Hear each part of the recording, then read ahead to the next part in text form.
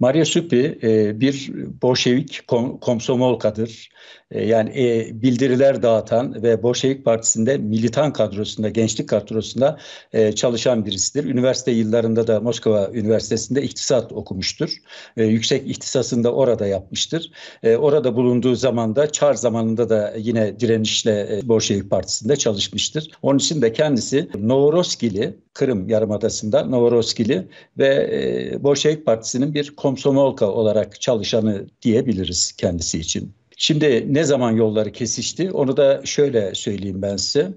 Ee, Mustafa Sübhi Odessa'da orada bir şey olur. Fransızlar ve Yunanların bir işgali olur. Ee, orada bir savaş olur. Yıl 1920'li e, yıllar. O sırada e, Mustafa Sübhi bunlara karşı e, Bolşevik Partisi'nin saflarında savaşır ve omuzundan yaralı olarak Kerç'e gelir. Kerç'te bir akrabası vardır bunun. Trabzon'dan çocukluk arkadaşı Hasan vardır.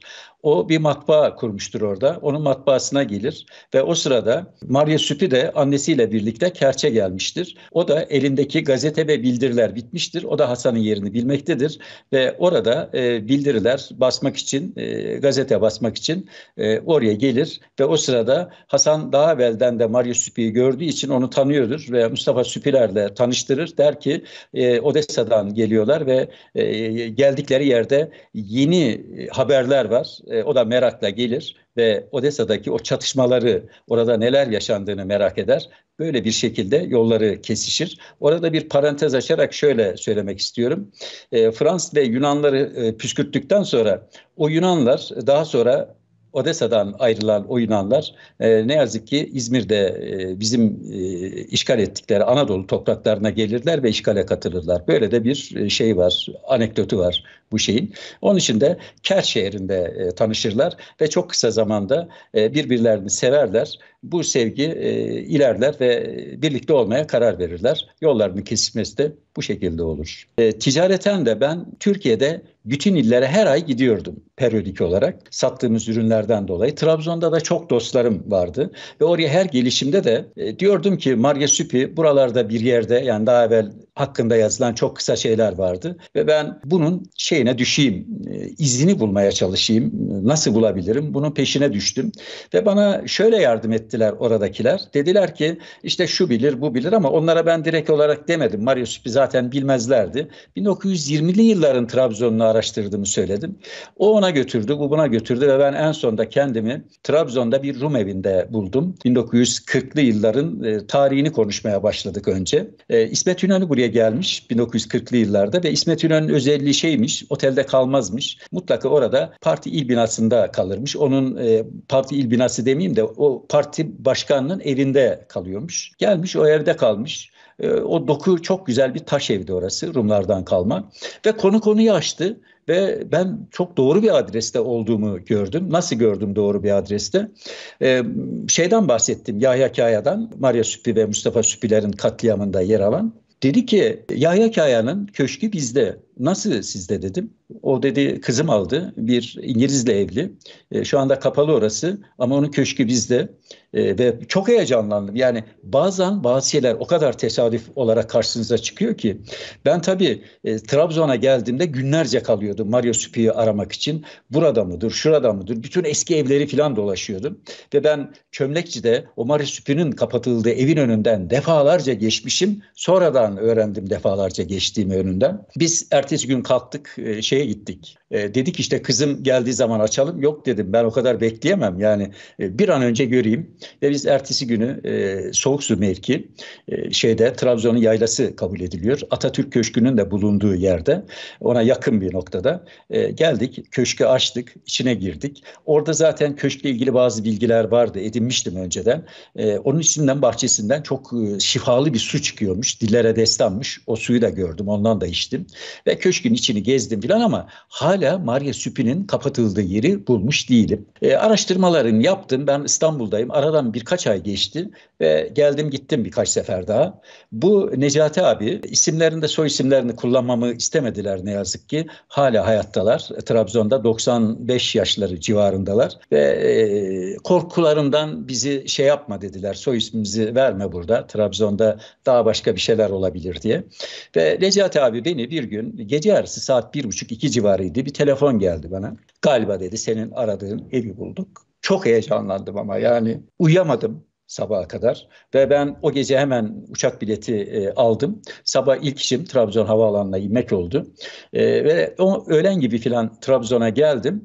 E, beni hemen Eren abi diye biri vardı. Onunla tanıştırdı. Soy ismini yine veremiyorum. Ve biz e, onunla bu eve doğru gitmeye başladık. Yaya Kaya'nın torunlarından bize kaldı. Bu evi biz aldık dedi.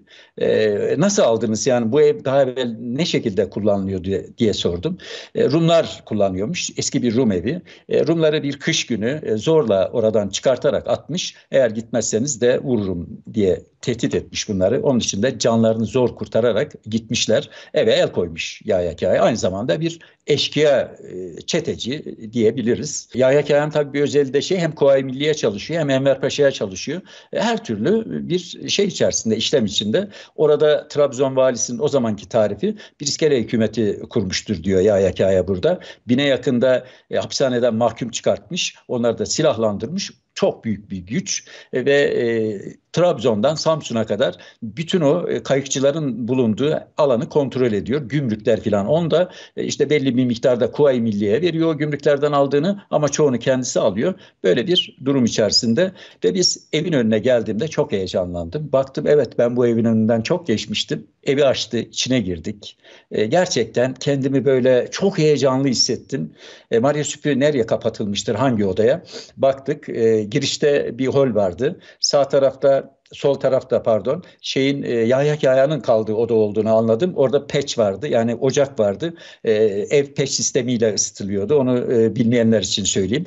Rusların bir sistemidir o. E, şey geçer e, duvarda boşluklar bırakırlar. Ateş bütün duvarı dolaşır ve kalorifer sistemi gibi evi ısıtır.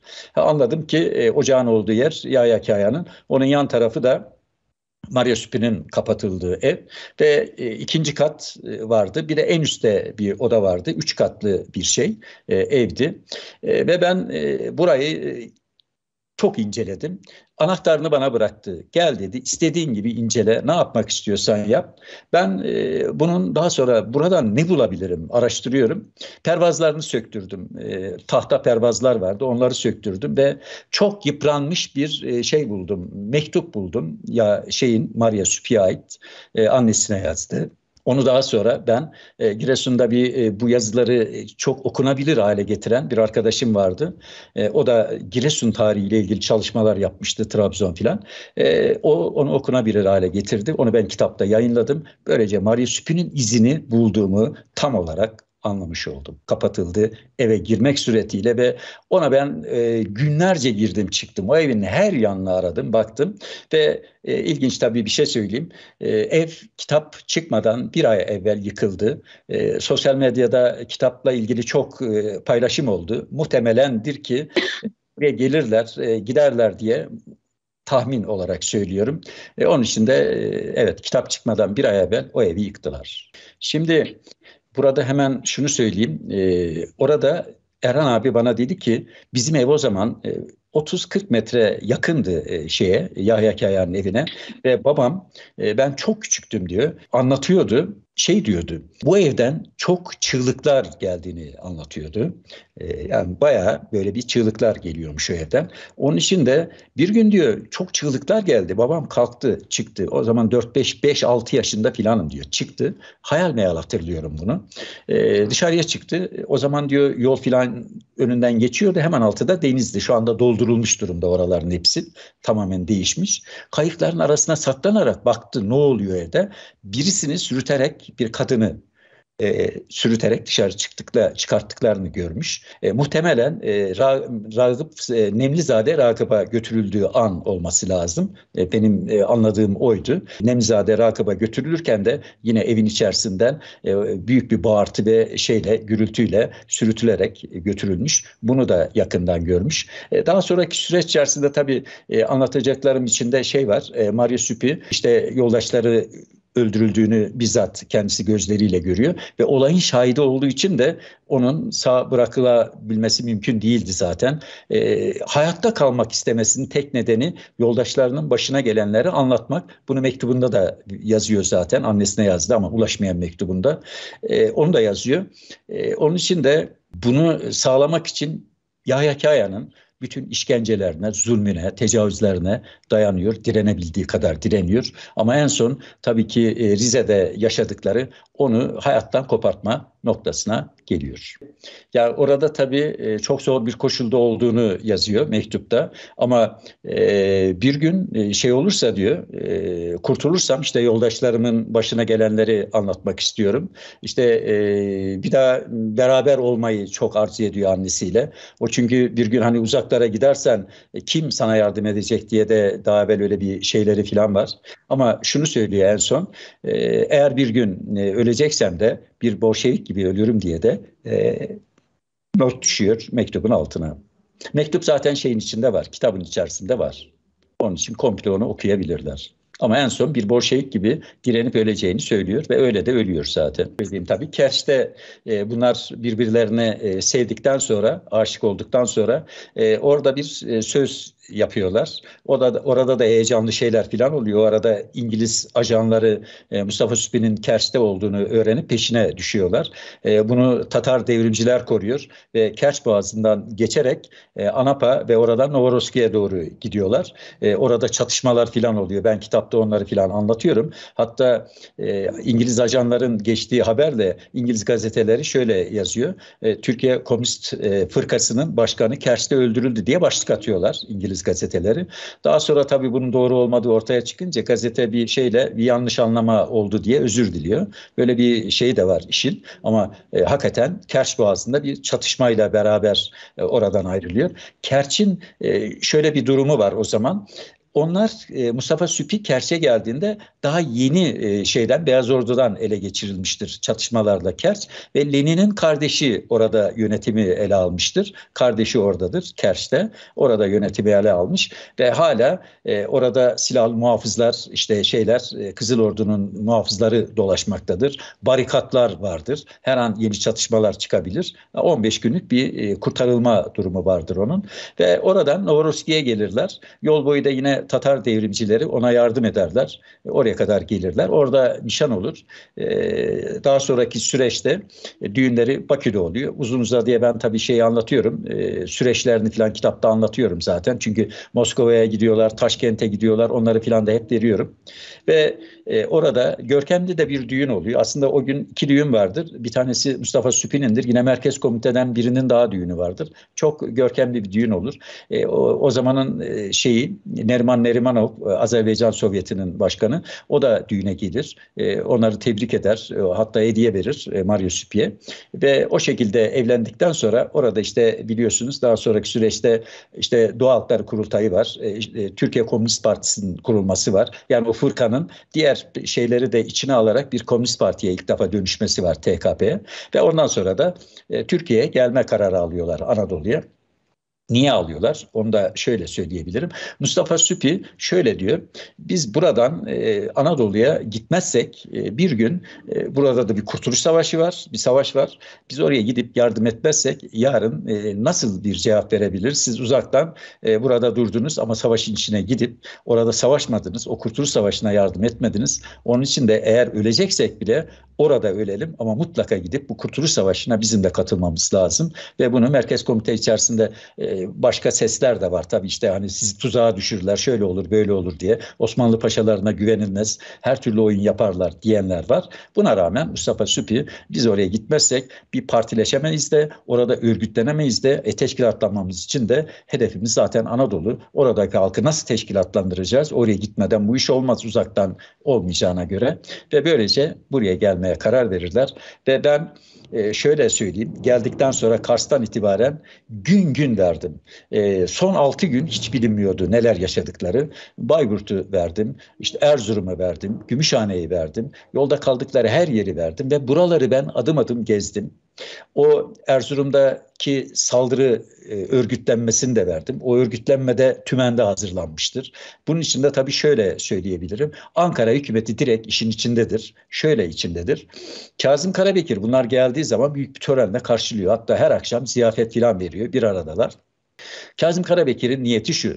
Ben diyor sizin yanınıza birilerini katıp Ankara'ya göndermek niyetindeyim. Ancak Ankara hükümeti bunların gelmesini istemeyince yeni bir plan yapma durumu oluşuyor. Onun için de 3 hafta kadar Kars'ta kalıyorlar orada. Bekliyorlar. O arada Ankara'da yeni bir plan, program yapılıyor. Bu plan program yapıldıktan sonra da işte Trabzon üstünden Trabzon'a doğru götürecekler bunlar. Aslında gitmek istemiyorlar. Kitapta ben bunun nedenlerini de veriyorum. E, Mustafa Süpi'nin bir özelliği daha var. Erzurum'da liseyi okudu. Pek iyi derecesiyle bitirmiştir. Orada bir gençlik aşkı olmuş Garin. Onu da ben geniş ayrıntılarıyla kitapta veriyorum. Onun için de Erzurum'u iyi biliyor. Çok muhafazakar bir yer. E, o nedenle de oradan gitmek istemiyor. Liseyde okuduğu için 3-4 sene orada kalmış. E, oradan gitmek istemiyor. Bitlis'ten gitmek istiyor ama e, Kazım Karabekir de Ankara'dan göndermek istiyor. Çünkü planı öyle kuruyorlar. Ve orada tümende hazırlanan e, programa işte oranın e, Mukaddesatı Milliye diye bir örgütü var. E, gerici bir örgütlenme. Onlar da destek olarak bildirileri falan onlar dağıtıyorlar. İşte nedir bildirilerde? İşte bunlar dinsizdir, imansızdır, Allahsızdır, kitapsızdır, camileri yıkacaklar, işte çocukları şey alacaklar. Hatta diyor ki kadınlarla erkekler aynı yerde yemek yiyeceklermiş. Aynı aşhanede yemek yiyecek. O bile çok korkunç bir şeymiş o zaman için. Böyle bir durum içerisinde Erzurum'a geliyor ve Erzurum'da e, taşlanıyorlar. Tren orada bir süre duruyor. Onu mesela çocuklar var o zamanın Cuma gününe denk gelmiş bu olay. E, diyor ki çocuklar sonraki anlatımlarında öğretmenlerimiz bizi dedi ki gidin dinsizleri taşlayın e, şey olur size sevap yazılır. E, kucaklarımıza taşlar doldurduk ve gittik biz de şeytanları taşlayalım diye böyle bir şekilde kışkırtılmış bir halk buraya getiriliyor. Ve burada tabii öldürme şeyi yok korkutma var, sindirmeye yönelik şeyler var ve tabii bu yol boyu devam ediyor. İşte Karabıyık diye bir köye geliyorlar. Ben o köye de gittim. E, o köy muhtarını buldum. Ondan konuştum. E, bir takım bilgiler elde etmeye falan çalıştım. Sonra yol güzergahlarını izledim. E, şeyde maden anlarında bir gün kalıyorlar. İşte Karabıyık köyünde bir gün kalıyorlar. Ve ondan sonra şeye geliyorlar. E, Bayburt'a doğru geliyorlar. Şimdi hep şöyle bir telgraflar geliyor. İşte bunlara e, yemek vermeyin. E, işte e, atlarına şey vermeyin, yem vermeyin. Şimdi atları falan onlara ait değil. Tabii herkes kendisine göre bir şey yazmış. E, aslında kızak uçakları falan hep yine ordu temin ediyor ve bunlar sürekli jandarma kontrolü altında gidiyorlar. Yol boyu jandarma kontrolü altında. Yani şöyle düşünün bugün bir tutuklu sevk edilirken araçlarla gidiyor. İşte bir ile geldiği zaman oranın polisi ya da jandarması teslim alıyor. Burada da aynı. Bayburt'a geliyor. Bayburt'un jandarması bunları teslim alıyor. Gümüşhane'ye geliyor. Gümüşhane'ninkiler teslim alıyor. İşte Maşka'ya iniyorlar. Onlar alıyor. Ankara hükümetinin e, kontrolü altında ve onların jandarmaları eşliğinde hareket ediyorlar ve hiçbir şekilde oradan ayrılmalarına izin vermiyorlar. Bir tutuklu gibi götürüyorlar bunları. Bayburt önlerindeki şeyi Yeni Bahçeli Şükrü örgütlüyor. Kuvayi Milliye Komutanı. E, o da yine e, bir envercidir. O örgütlüyor oradaki olayı ve e, telgraflarında filan var zaten. Onun Yeni Bahçeli Şükrü'nün hatıraları diye bir kitap var. Orada da zaten o telgraflar var. Orada o örgütlüyor. Rize'de o sırada kendisi. Bayburt'a girmeden evvel orada büyük bir kışkırtılmış kalabalık var ve yol boyunca da tabii şöyle söyleyeyim. Köylerden bile öyle bir kışkırtmışlar ki ellerinde sopalar, taşlar işte Allahsızlar, kitapsızlar diye üstlerine doğru gelen sürekli bir kalabalıklar var. E, Bayburt önlerinde şehre girmeden yine büyük bir kalabalık top toplanmış. Aslında Erzurum'dan daha da kötü bir saldırı Bayburt'ta yapılmıştır. Bayburt'ta kızaklar devrilmiştir ve hepsi darp edilmiştir. Mario Süpi dahil, Mustafa Süpi dahil her biri darp edilmiş durumdadır. Ee, işte bavulları falan var. Eşyaların bir kısmı dökülmüştür. Bavulları gaz getirip yakmışlardır orada Bayburt'ta. Ve oradan işte şeye doğru hareket ederek Gümüşhane'de, Gümüşhane'de e, Bayburt'ta da hemen söyleyeyim e, Yeni Bahçeli Şükrü'nün yönlendirmesiyle Bayburt'ta 18 e, kilometre ötede e, bir karakolda kalıyorlar. Onun ben resmi de e, şeyde verdim. Kitabın içerisinde resmi de var. E, o karakolda kalıyorlar. Oraya da gittim. Onun kapısını açtım araştırdım, içini gezdim, taş bir bina. E, oradan Gümüşhane'ye geliyorlar. Orada bir kışlada e, misafir ediyorlar, askeri kışlada. Ve en rahat kaldıkları yer e, Maçka'daki Yorgaki Otel'dir. Yorgaki Otel'e ben geldim. Yorgaki Otel yıkılmış tabii. Aynı yere başka taş bir otel yapılmış. Oraya geldim. Hollandalı birisi vardı, Türk. Oraya gelmiş, bir otel yapmış. Ben dedim ki 1920'li yılları filan araştırıyorum. İşte burada da bir şeyler filan olmuş. Çok heyecanlandı. İşte beni birilerine hemen o da götürdü. Bir takım yaşlılar maçlar o ona götürdü ona ve ben o gece orada kaldım otelde. Çünkü son gecelerinde orada kalmışlardı. Hemen otelin yanında karşısında bir cami var. Duruyor hala o eski cami. Ve oradan şey akıyor, maşka çayı akıyor. Bir gece kaldım. Dedim ki bunlar da burada bu maşka çayının şırıltısını dinleyerek o son gecelerini geçirdiler. Ve tabii son geceler olduğunu bilmiyorlar. Mustafa Supi son ana kadar hala umutlu. Ankara hükümetinden haber bekliyor ve kendilerini bir şekilde kabul edeceklerini, öldürülmeyi hiç akıllarına gelmiyor. Hani e, kötü muamele falan yolda görüyorlar falan ama öldürülme tam olarak şeylerinde değil. Ve oradaki o son gecelerinden sonra da e, kitapta da yine biliyor herkesin bildiği Değirmendere önlerinde ilk öllerinin kesilmesi, yollarının kesilmesi muhtemelen saat böyle öğleden sonra hafif de yağmur yağıyor ve orada da büyük bir kalabalık toplanmış. E, orada e, karşılıyorlar Yaya Kaya, işte e, yine e, İstiklal Gazetesi başyazarı, e, oranın e, Müdafaa Hukuk Cemiyeti Başkanı Hacı Ahmet Barutçu orada, Faik Ahmet Barutçu orada oğlu ve e, onlar orada büyük bir kalabalıkla onu karşılıyorlar ve orada işte bir hengame oluyor, küfürler, şeyler filan yine cuma gününe denk gelmiş durumda. Ee, gelmeye zorla halkı oraya yönlendiriyorlar. Dükkanları zabıtalar ve polis zorla kapattırıyor ve bütün halkı Değirmendere önlerine topluyor. Orada da tabii hemen bir şey daha açayım parantez. Yahya Kaya'nın avukatının kardeşi de bu heyetin içindedir. E, tabii orada Trabzon'da böyle bir e, şey olunca işte vuracağız öldüreceğiz diye bir takım şeyler yayılınca burada tellallar dolaşıyor filan işte kafirler geliyor onları vurmak için onları linç etmek için değirmenlere önlerine gelin davulcu dolaştırıyorlar böyle bir şey içerisinde. Diyor ki benim kardeşim de bunların içinde bunlara ne yapacaksınız Yahya Kaya'nın yanına geliyor. Yahya Kaya onu bir kenara çekiyor. Diyor ki kardeşini kurtarmak istiyorsan değirmen dereye gelmeden heyetin içinden al. Elimde infaz emri var. Kardeşini ancak buraya gelmeden evvel alırsan kurtarırsın. Çok net bir şekilde söylüyor elinde infaz emri olduğunu. Zaten e, şeye gelmeden evvel Trabzon'a gelmeden 3 gün önce Buhti'de yani Trabzon'daki o çömlekçi limanının olduğu yerde bir gizli toplantı yapılıyor. O toplantı sırasında da Yine buna o infaz emri okunuyor. Ondan sonra da o yakılarak yok ediliyor. E, ortada herhangi bir belgede kalmıyor.